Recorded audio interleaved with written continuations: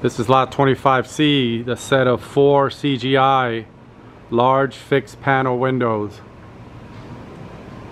One, two, three, four. They do not open. They will not include the two sets up here. So it's gonna be hard enough to take these out. Okay guys? Gonna be some doing, but we'll get them out. If you were to buy these right here, ooh, probably uh, about a thousand dollars a piece. And when you can get them is another thing. Top of the line CGI Hurricane Impact.